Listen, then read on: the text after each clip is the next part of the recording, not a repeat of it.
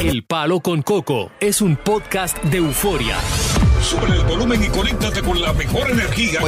Show número uno de la radio en New York. Escucha las historias más relevantes de nuestra gente en New York y en el mundo para que tus días sean mejores junto a nosotros. El Palo con Coco. Porque esto es matemático. Tú se, te estás sintiendo decaído o decaída y no sabes por qué. Lunes 16 de enero, Ajá. denominado como el Blue Monday o el día más triste del año. Esto es matemático. Ajá. Y tú te preguntarás, ¿cuáles son las razones del por qué yo me estoy sintiendo decaído o decaída? Claro. Porque en esta fecha Mm. se tiene la mayor carga emocional negativa desde que terminaron las fiestas. Ya. Fíjate que durante todo el mes de diciembre, ¿estás contento? Todo fue alegría. Feliz, viene la Navidad y los regalos. Alegría. Eh. Entonces Alegría. también tiene Oh. la sensación de que enero es el mes más largo del año y es mentira, Ajá. es agosto. Ajá. Entonces es ahí en realidad donde viene esa carga emocional que es matemática. Mm.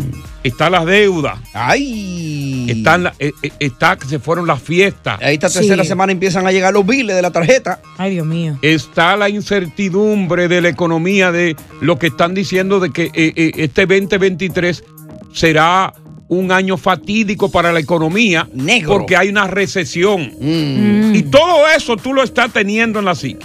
Pero Sí. aparte de eso, está con que si tú no manejas adecuadamente una tristeza Ajá. como la que tú tienes hoy día, Sí. va a tener problemas de ansiedad, depresión, estrés. Eso podría acarrearte problemas serios. Si desde hoy tú no comienzas a, a administrar esa tristeza. Ya. Pero fíjate cómo son las cosas. Sí. Y yo en el día de hoy, Ajá. yo sentí eso mismo. ¿El que tú sentiste? Esa tristeza, esa Ah. melancolía. No. Oye, cuando yo desperté hoy, yo no quería venir a este show. No. Yo Que quería no. llamar como diosa que llame y hable una mentira. Oh, Mire, buen freco, yo siempre le enseño pruebas a usted por WhatsApp. Quería mentir como diosa. eh, de- decir que estaba enfermo. No, que la hija Yo- mía está enferma. Mi hija no podía decir está porque la- yo no tengo hija aquí chiquita. Pero Ya, yo te enseño la prueba, buen freco. Diache. pero- Que el carro se me quedó por gasolina. Ya. No, pero yo te enseño con video. Que un carro nuevo se me quedó con una goma que se vació y un carro caro. Ya. Yo quería ser diosa de eso. Oye, porque yo no- vaga para echar gasolina. Pero lo tal es que Ay, decidiste Dios, venir. vergüenza. Decidí venir por el compromiso Ya. moral que, que- que- que me une. Ya. Pri- primero va el uteo. Eh, Claro. Y Después la con audiencia. la distinguida y concurrida audiencia. Con ustedes, ya. Dale, Ay, Pacheco. Pacheco. A mí me gustaría saber, a través del número 1 800 Bla, bla, bla, bla. ¿Cuál es el número? 1-800-963-0963, 1-800-963-0963. ¿Qué te gustaría saber, Coco? ¿Qué te, ¿Cómo te sientes tú en este día, el tercer mes de enero, con las cargas impositivas? Las fiestas se fueron. eh, eh, óyeme, un mes duro. La hay que pagar llena. las tarjetas. eh, ¿Cómo te sientes? ¿Tú te sientes decaído hoy? ¿O es simplemente una matemática que, que, que, que no tiene razón de ser? ¿Tú lo sientes decaído hoy, Coco? Estás Yo me siento decaído. eh. Ey, estás sintiendo el Blue Monday. Yo me siento decaído. Sí. Pero tú solo, ¿no? No, me siento así, me siento así, porque aparte, aparte de, de- en el caso mío en particular, te doy un dato. Viene dato. Quinto de la tarde. Oye, vino datoso hoy. Yo, yo vivo Rafael Solano. Ujú, porque tú Acuérdate que cuando yo llego a mi casa, así de noche, no tengo con quien hablar, Claro. personalmente, o con quien discutir. Y entonces mi apartamento es tan limpio que no hay cucarachas que acompañan y compartan conmigo, ni ratones tampoco. Un ratón que se Porque hay siente- algo vivo. Que se siente Sí. a la mesa ahí, ¿no? una cucaracha, un ratón que te pasa. Para bocearle algo ahí, ¿no? Sí. Mire, yo tu madre. Párate ahí para que pelee. 1 800 973 0973 ¿Es tu ánimo hoy? ¿Cómo está? Yo decía hoy, ¿por qué era que me sentía así? Porque yo- ¿Y este sentimiento de dónde es? ¿Qué Sí. pasa? Pues debe ser eso, porque no le busqué otra razón. Ahora que te escucho, Coco. Sí. Tienes razón.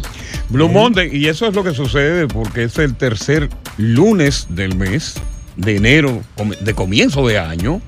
Entonces hay sentimientos negativos no hay fiesta, se fue toda la fiesta de diciembre. Hay deudas económicas Claro. y también algún pariente o algún amigo se fue con el trío Los Panchos en diciembre. Ay, firmó con los angelinos. Eh, a ver qué dice José Luis. José Luis, Saludos, buenas noches. Buenas noches. mejor dicho. no, está de noche, debe estar de noche Eh, ya.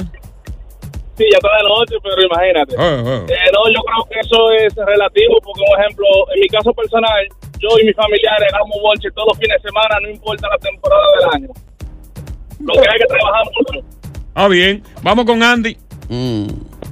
Andy, ¿todo bien, hermano? Oye, te voy a dar un dato. Viene el dato. Lo que pasa es que uno se deprime tanto, porque uno se queda de rotonda con 27.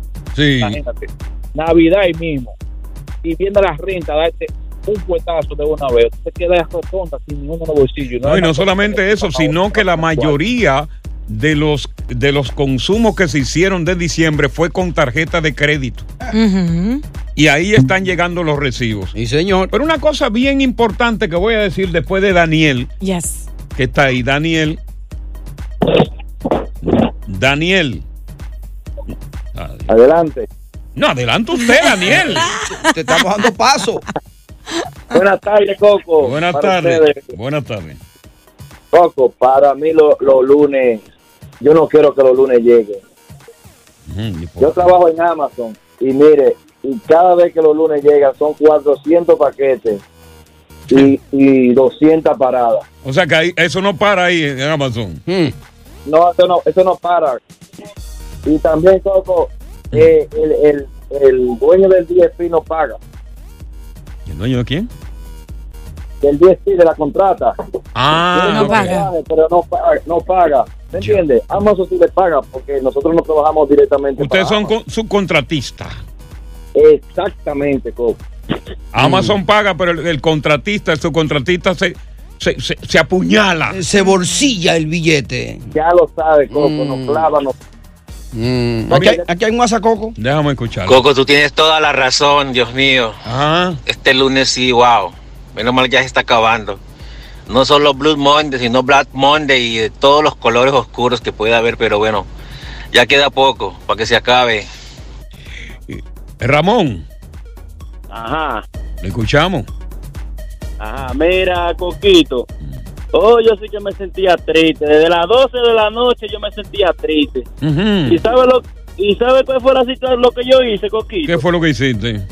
Que me prendí un tabaco de marihuana y me alegré el día. ¿Tú crees que, tú crees que yo jodo mucho?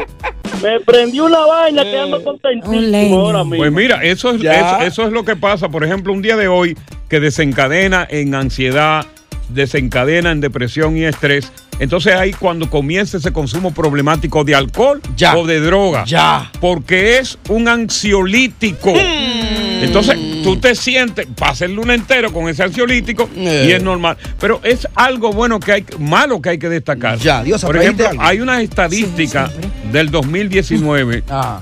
que casi mil millones de personas, entre ellas el 14% de adolescentes en todo el mundo, tenían un trastorno mental. Mm. No. Suicidio, uno de cada 100 muertes, 58% ocurrieron antes de los 50 años. Oh, wow. Porque cuando tú no, tú no tienes un control de tus emociones Mm. tristes y negativas, Sí. esto es lo que pasa. La depresión a todos nos afecta, a uno más que otro, pero si tú, por ejemplo, te sientes depresivo y tú sientes que esa depresión aumenta y tú no buscas un médico Ayuda. para una ayuda Claro. en psicoterapia, se puede convertir en una depresión mortal. Sí. ¿Por qué se producen los suicidios? ¿Por qué? Porque cuando hay un nivel de depresión Ajá. que va del 1 al 10, Mm. y cuando la depresión te está picando el 8, Ajá. que tú no encuentras ansiolítico que te la cure porque ya está muy grave, Ajá. es ahí donde tú piensas en algo que se llama suicidio. Como la última salida. Sí, para quitarte del medio. Wow, qué triste. Entonces, eso hay que evitarlo. No lo haga, no lo haga. Es el palo Con Coco. Aprende, Dios, aprende. Estás escuchando el podcast del show número uno de New York. El palo con Coco. Bueno, la sofilia. Nada tiene que ver con Sofía, ¿eh? Mm. Sí. Sofilia. Yo pensé que era la hija. No, nada tiene que ver con eso. Estamos hablando de una conducta sexual de una persona que tiene relaciones sexuales con justamente con animales. Ya. Y esto se considera una perversión que tiene que ver con una desviación sexual. Eso es muy común en Latinoamérica. Inclusive hay regiones que se caracterizan por esa particularidad. Ajá. Una de esas regiones, por ejemplo, es en, en la costa colombiana, Sí. eh, col- eh, eh, mm, Barranquilla sobre todo, donde hay una tendencia en Mm. la zona rural de que el hombre puede tener relaciones íntimas con un, un asno, Ajá. ¿Qué es un asno? un burro, una burra. Una burra. Ah, ok, sí. listo, chévere. Oye. Muy famoso eso en Mm. Barranquilla. Y le dicen burrero. Burrero. Pero en Latinoamérica esta perversión ha existido por, por los siglos de los siglos. Amén. Y tiene una condición y tiene un motivo de por qué esto existe. Eh, en aquellas épocas, pero todavía eh, existe, cuando el hombre no tenía el acceso a una mujer Mm. y estaba en el desarrollo sexual, quería tener algo vivo con quien tener una relación sexual. Un tibio. Y los más vulnerables en este, en este momento, en ese momento, eran los animales. Porque, óyeme, en aquella época, cuando tú tenías una novia, Mm. no es como ahora que tú tienes una novia y mañana tienes relaciones íntimas, no señor. Eh. Y era supervisada por los padres. Ay, Dios mío. Y tú para tener relaciones íntimas, tú tenías que casarte con esa mujer. Claro. Entonces tu sexualidad se veía cohibida porque tú no, pas- no podías pasar de besito. Mm. Ya cuando tú estás en desarrollo, que estás creciendo, sabes lo que tú quieres. Una Ah. chileadita nada más. Entonces, esos animales eran vulnerables. Estamos hablando de todo tipo de animales, hasta gallinas. Ay. Pero Goodness. esta práctica ha continuado todavía en las zonas rurales, sobre todo con hombres ya de cierta edad mayores que no tienen acceso o facilidad para tener intimidad con una mujer. Este es el caso de este señor mayor que fue sorprendido en el campo con por la dueña de una chiva Ay, Dios mío.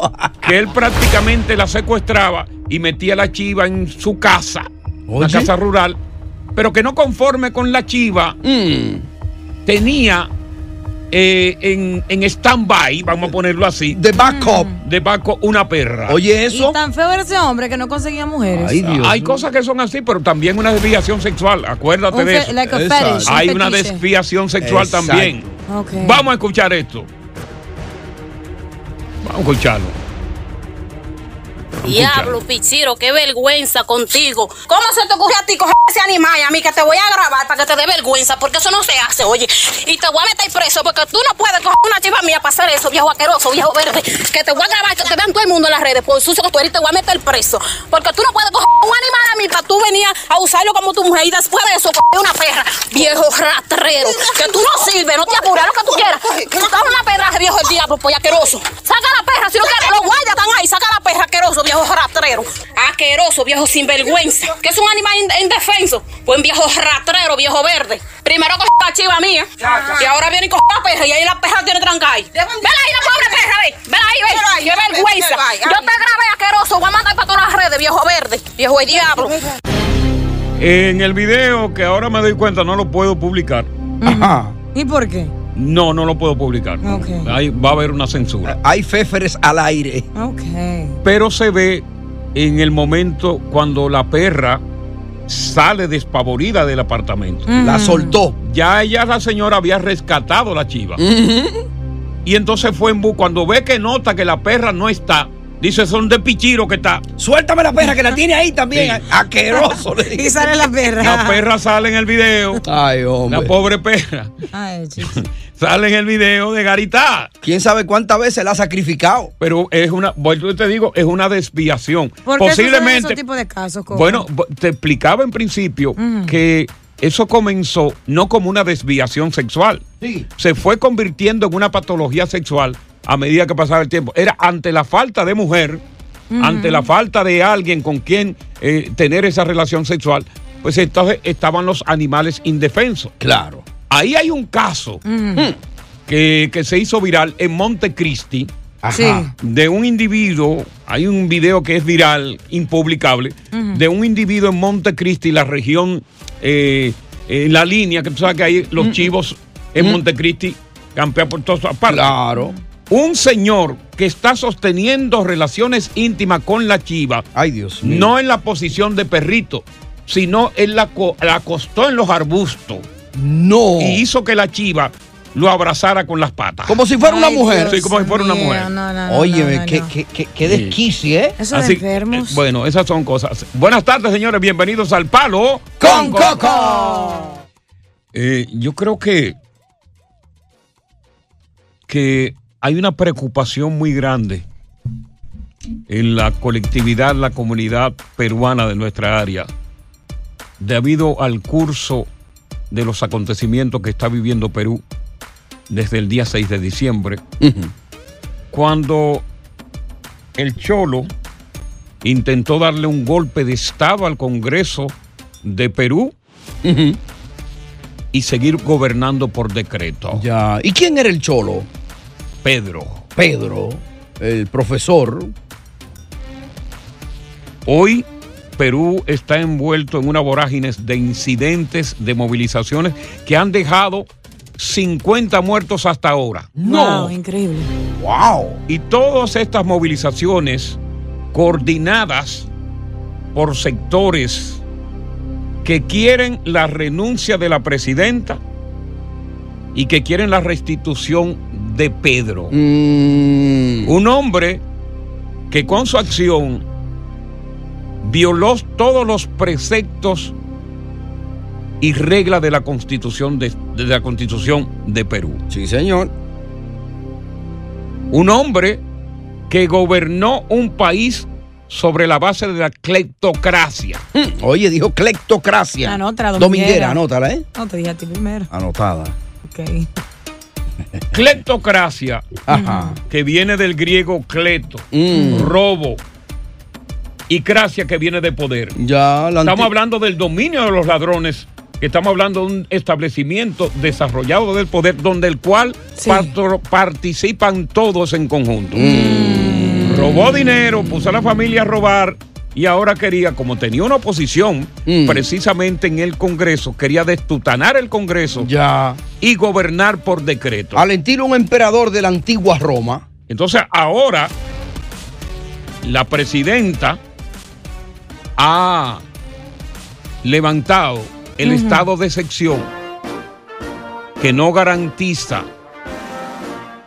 preceptos que de los que defienden los derechos humanos Mm. para poder tratar de estabilizar al país y terminar con las manifestaciones que son apoyadas Ah. por regímenes comunistas, por izquierdistas Mm. de Latinoamérica. No. Son apoyadas esas manifestaciones por México. ¿Cómo? Son apoyadas por Argentina. No. Son apoyadas por Chile. Oye. Son apoyadas por Brasil ahora con Lula. Y son apoyadas inclusive por, por Honduras. Pero tú estás escuchando. Países de regímenes izquierdistas. Claro. Yo quiero conversar con los peruanos que están en el área. Chimpón. Mm. Callao, Dios. Callao. para que en realidad tú como peruano nos manifiestes tu inquietud. ¿Qué es lo que tú sugieres que se pueda hacer para acabar con este desorden que tiene Perú? Que en los pocos años han pasado cinco presidentes y ninguno ha durado un año. Por eso cada vez que yo veo una situación así como esta, Ajá. donde los presidentes no han dado pie con bola, Ah. Más amo yo Alberto Fujimori Mm. que a pesar de los cargos que le hicieron Sí. de algunas muertes, fue el único que pudo acabar con ese flagelo, con ese veneno llamado sendero luminoso. Ya. Y mira cómo le han pagado. Lo tienen preso Lo han día. hacinado en una prisión. Increíble. Un hombre enfermo. Una Ay, injusticia hombre. esa, ¿no? Uno, totalmente una injusticia. Los peruanos deben amar cada día más Mm. Alberto Fujimori. Oye. Porque fue el único que se fajó con la guerrilla que ninguno otro lo ha hecho. No. Después los presidentes que han venido son una base de ladrones, todos. Mm, el tío Alberto. Una base de ladrones, todos. Ay, Dios mío. De rateros. No hay que bajarle que nada han a eso. establecido un régimen de cleptocracia, de robo en ese país. Oye, cleptocracia, anota la diosa, ¿eh? No, yo me la sé ya. ¿Qué es lo que van ustedes a hacer como peruanos para acabar con esto? ¿Cuándo ustedes van a tener una estabilidad democrática? ¿Eh? ¿Eh? Contesta en coreano. Digo. 1-800-963-0963, 1-800-963-0963. ¡Arriba, Perú! Coco, que usted hable de otro país. Felicitaciones. Siempre a Domi- República Dominicana. Bacano, hermano. Haga eso, verá que tiene más audiencia, papá. Eh, bueno, el 6 de enero, Perú sorprende al mundo. Pedro Castillo, que fue aupado al poder con una coalición de partidos, un movimiento de partidos, intenta darle un golpe de Estado al Congreso que estaba en su contra y que estaba un Congreso buscando destutanarlo del poder. Sí, señor. No se le da porque él quería gobernar por decreto, decreto presidencial. Exacto. Déjame quitar el intruso que no me deja tranquilo, pero no se le dio porque hay que felicitar a las Fuerzas Armadas y a la Policía Nacional de Perú porque actuaron rápidamente e impidieron a Castillo que se saliera con la suya. Defendieron lo que es la constitución de la República y luego pues fue que se nombra precisamente la vicepresidenta como presidenta del país, que tampoco la quieren. Ella declaró hoy el estado de excepción para limitar los derechos que tienen los ciudadanos a fin de controlar las manifestaciones y motines que siguen dejando muertos. Ya. Pero un ataque contra el Congreso no solamente ocurrió con, con Castillo, porque yo recuerdo muy bien eso. En un domingo 5 de abril de 1992, Alberto Fujimori aparece en televisión. Ajá. Anuncia en televisión el chino la desilusión de temporal del Congreso. En este caso de Castillo no fue temporal. Él lo dijo temporal. Y la reorganización del poder judicial.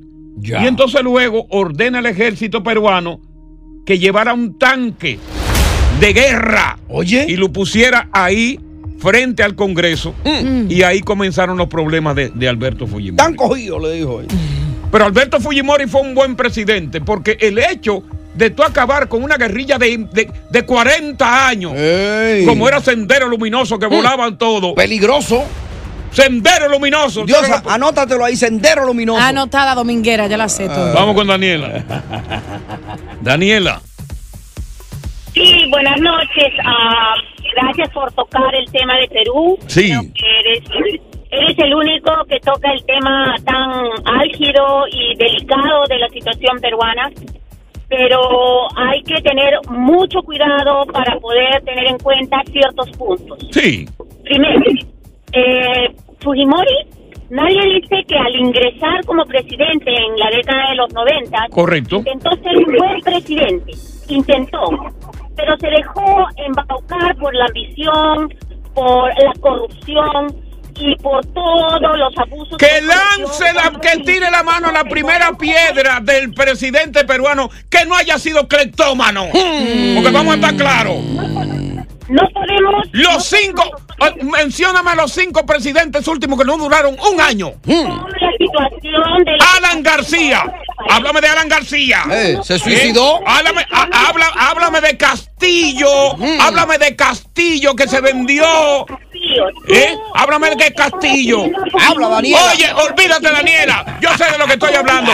Tú tienes que agradecerle a Fujimori. Que, eh, escúchame, Daniela, que tú no me oyes, tú eres sorda. Óyeme, eres sorda, no eres peruana, eres sorda. Ay, no, Coco. Vamos con Martín, que ella es sorda. No, ella sigue hablando. Martín. No, ya no se calla. Martín. Sí, buenas. Buenas tardes. Buenas, Coco, ¿cómo estamos? Todo bien, hermano. Chimpún callado. Callao, eso es.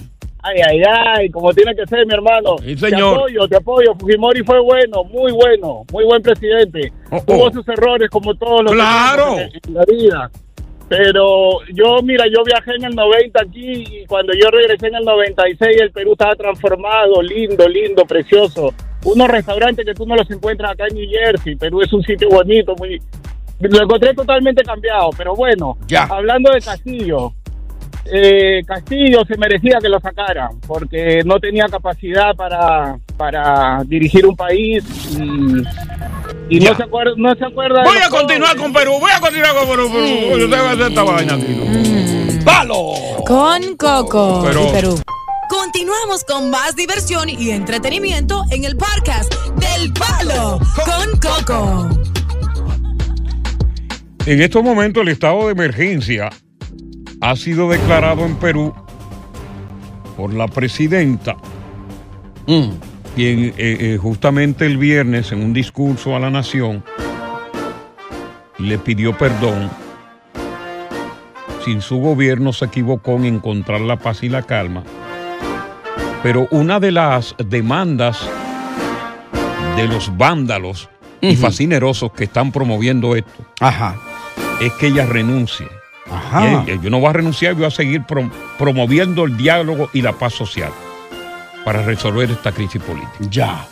Eh, déjame, ahora mismo llamó un peruano Mm.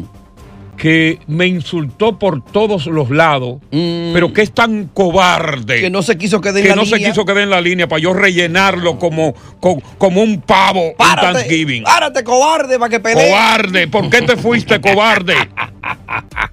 ¿Eh? Vuelve y llama. Voy con Roberto. Roberto, te doy la bienvenida. Saludos, Coco, saludos. Buenas tardes, Eh, Roberto, bienvenido. Mi opinión es que todos esos que están protestando son una balsa de ignorantes, porque es- la mayoría de ellos son gente que no tiene estudio y que son aprovechados por las sendas de Sendero Luminoso. Por todas esas bases de Sendero Luminoso. Correcto. Que ahora mismo Que todavía esas bases, crear- esas bases de Sendero Luminoso están vivas. están vivas y son gente que están tratando de aprovecharse del pueblo para crear ahora mismo no quieren dejar ningún tipo de gobierno para poder aprovechar la anarquía y tomar el poder. Exactamente. Porque saben que si salen ahora, que si simplemente hacen una elección no van a volver a salir porque nadie va a querer volver a un gobierno comunista y de porquería que estaban haciendo ahí. Y, y, y otro, otra cosa bien importante que hay que decir, que esta, este, este círculo de gobiernos comunistas de la región le están dando un espaldarazo, y hasta económicamente, Ajá, no. a, a estas turbas. No. Oye. Estos gobiernos lo están apoyando, porque eso, eso es lo que hacen los comunistas, apoyarse el uno al otro. Claro, le mandan armas y municiones, ¿no? Mandan cuarto. Ah. Vamos entonces con Jorge. Jorge, bienvenido. Buenas tardes, ¿cómo está usted, Coquito? Buenas tardes, bienvenido. Coquito. Que me da gusto hablar con usted. Yo Muchas fui gracias. uno de los comandos que entré en el rescate de los, de los, de todos los rehenes. Sí. Imagínese. Solamente escuchamos tres disparos de los, de los, re- de los, de los, de los terroristas. Yo fui el tercero que entré. El resto tenía miedo, se cagaban de miedo a entrar. Sí. Pero yo entraba, yo entré. Usted yo entró. Wow. Yo entré, fui un capitán de la Marina de Guerra. Sí, comando, Entré. En aquella época. En aquella época entré y ningún terrorista quería disparar porque se cagaban de miedo. Sí, sí, sí. Eh, Cuida el lenguaje. Perdóname, sí, perdóname. Sí, sí, sí. Pero Toma un, papel, entré. toma un papel de baño. Sí, sí, yo entré, sí. Ya, Yo entrate. entré por, por orden de, del presidente de la República, pero entramos porque era nuestro trabajo entrar. Claro, claro. Lo mismo que hicieron las Fuerzas Armadas y la policía ahora, que defendieron la constitución de, de- la constitución de la República, apresando a Pedro Castillo que pretendía, pretendía buscar asilo político donde su mejor amigo, el presidente de México, para allí estar impune, pero se lo impidieron. Vamos con Julio. Ya. Oh, oh. Julio. Sí. ¿Cómo estás, este, Coco? ¿Qué tal? Todo bien aquí. Julio Zelaya de New Jersey. Sí, de New Jersey. Saludos, Julio. Ya, muchas gracias. Sí. Bueno, mira, lo que está ocurriendo en el Perú es una, es una consecuencia del desgobierno en que nos subió Pedro Castillo. Un gobierno declaradamente comunista, eh, marxista, leninista. Pero, pero te voy a te voy a decir algo bien interesante. Algo. Porque, porque Pedro Castillo es mal agradecido. El cholo. Porque- y, y la vicepresidenta, que era ahora presidenta, no se quedan atrás, porque ella, ella, ellos renunciaron a la coalición política que lo llevó al poder. Oye, Son mal agradecidos. a la coalición. Oh my, anota la a la coalición política que lo llevaron al poder, renunciaron. A la Ya una vez estaban en el poder. Renunciaron a la coalición. ¿Me entiendes? Ah, Julio. Sí. Sí, efectivamente.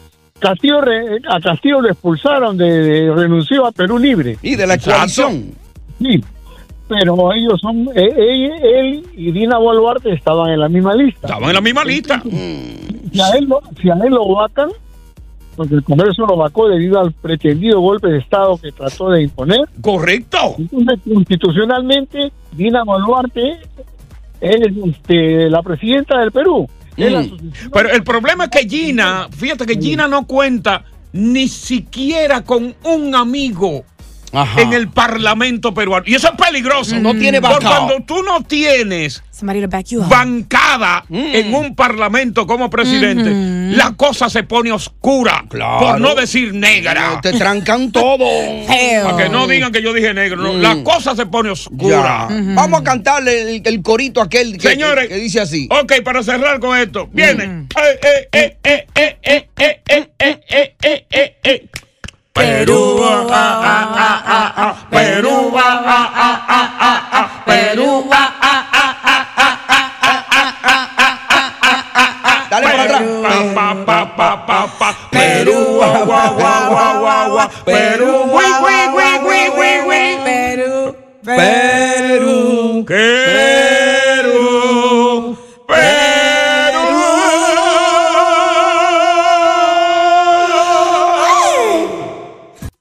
Esto. Los aviones son seguros. Ujú. Más seguros, obviamente, que, que un automóvil. Yo estoy segurísima.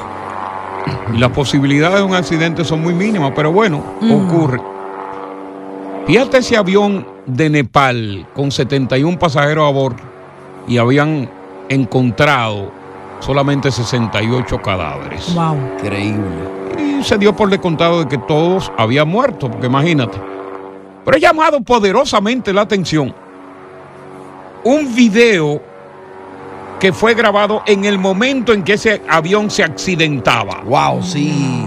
Un video donde inclusive parece ser que quien lo grabó Mm.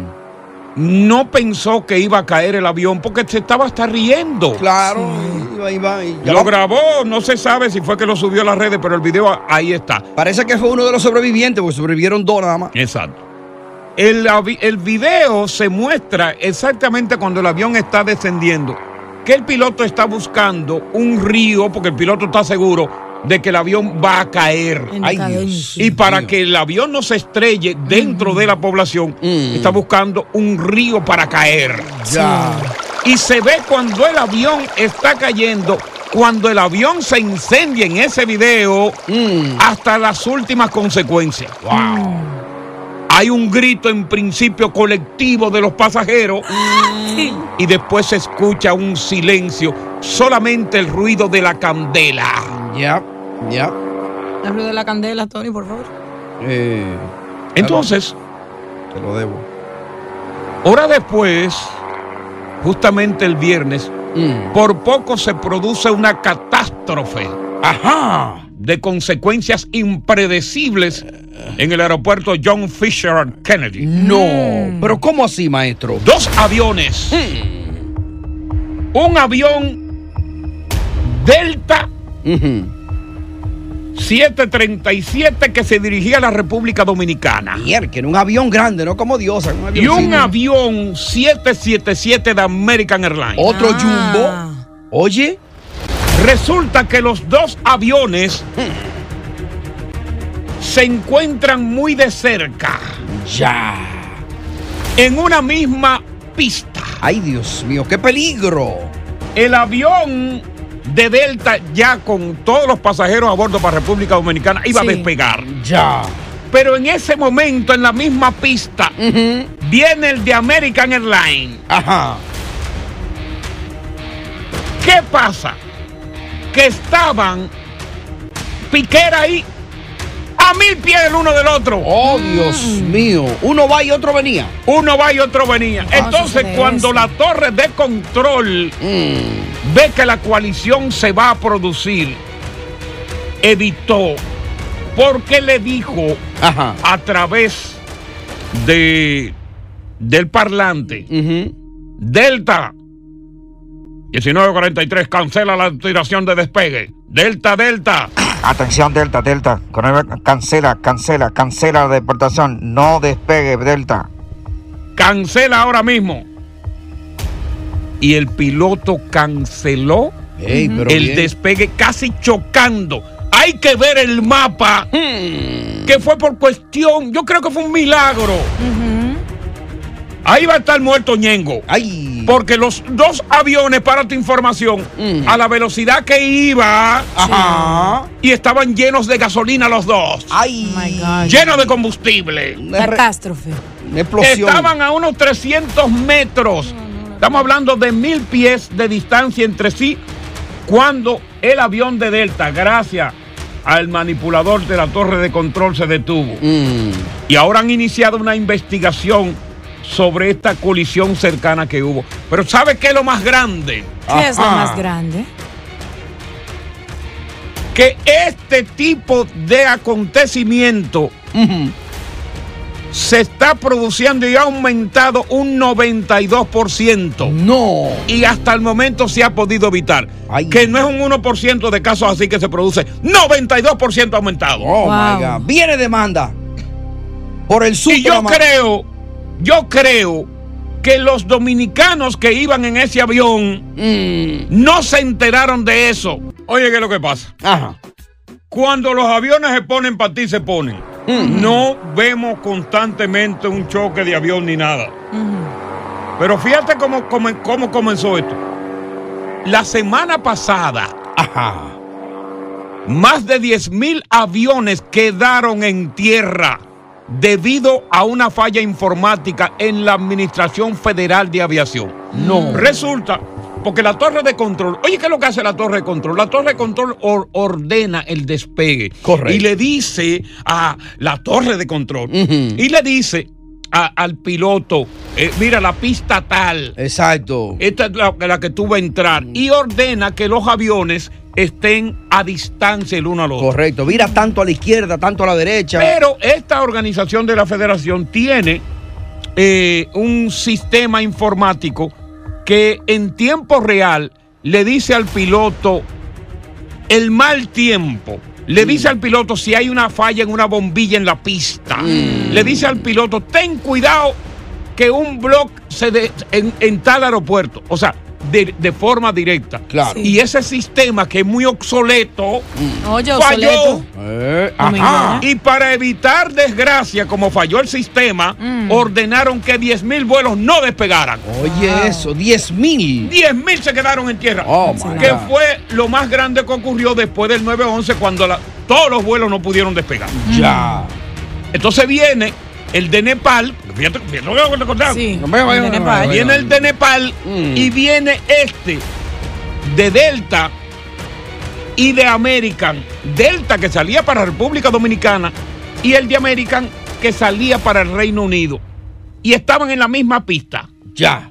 Uno casi despegando y el otro en la misma pista que acababa, que acababa buscando cómo aterrizar. Ay, Dios. ¿Tú te imaginas? Un choque de frente. Entonces, los dominicanos que iban en ese vuelo, 145 en total, porque en el otro iban 137, no se dieron cuenta. Ajá. Pasó desapercibido. Ya. Porque de haberse dado cuenta hubiesen ya demandado por un susto inexistente. Claro. Muy cierto. Muchacho.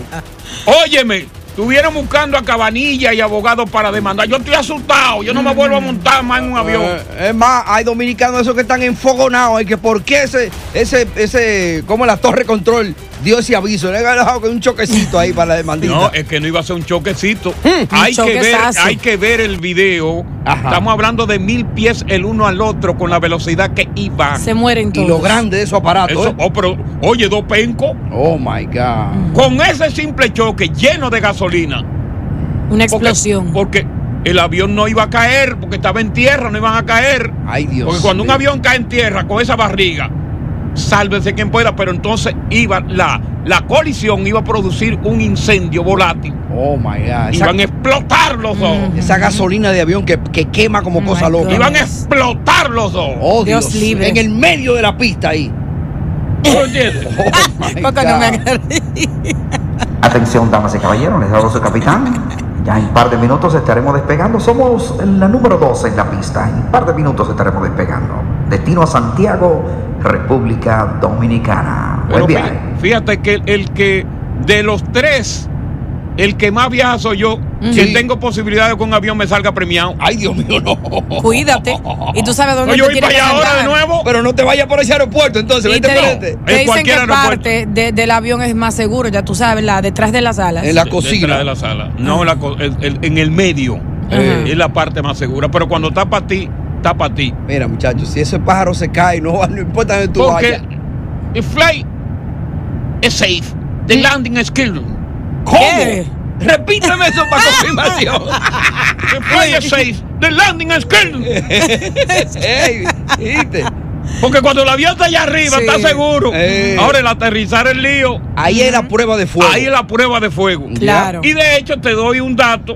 Viene dato. Último de la tarde. La gente piensa Creo yo. que solamente el piloto puede aterrizar el avión. No, el piloto automático lo puede aterrizar. Lo que pasa que no se le permite a menos que el piloto humano tenga un, un ataque al corazón, ya. tenga esté inutilizable, inútil, inútil, pero ahí el piloto automático puede aterrizar el avión. Y en caso de que el piloto no esté, entra en el copiloto. Eso iba a decir que hace el copiloto. Porque sí. hemos visto en la película donde envenenan al piloto y al copiloto. Ojalá que yo no tuviera así un avión así. Ay, Dios. y ese avión para abajo.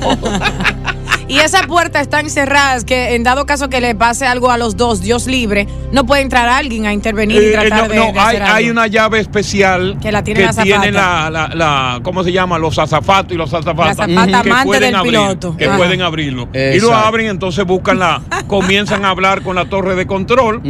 Eh, la torre de control en su defecto puede darle una orientación de cómo maniobrar de el cómo aparato. mani- de cómo en primer lugar poner el, pilo- el piloto automático. Eh, Exacto. Y muchas veces también hacen un anuncio que si va alguien ahí volando, que sepa manejar el avión. Exacto. Pero lo hacen con discreción hasta tanto. Ahora, ya cuando ven que la Eh. vaina es, es difícil, van Eh. a decir, señores, abajen la cabeza Que nos fuñimos todos. y cojan la máscara y póngale la máscara al niño primero, después se la pone usted. Y después tiene la puerta del lado, que si tú te sientas ahí, tú tienes que ayudar a los otros primero y después Lo luego primero que te pregunta, ¿You speak English? Cuando Yeah. tú te vas a sentar en el medio. Sí, Yes. Yo dije yes un día y se me un lío. ¡Palo! ¡Con Oye, gracias por escuchar El Palo con Coco. Si te gustó este episodio, compártelo en redes sociales. Si te quedaste con las ganas de más, sigue derecho y escucha todos los episodios que quieras. Pero no somos responsables si te vuelves adicto al show. Suscríbete para recibir notificaciones y disfrutar el podcast del mejor show que tiene la radio en New York. El Palo con Coco es un podcast de euforia.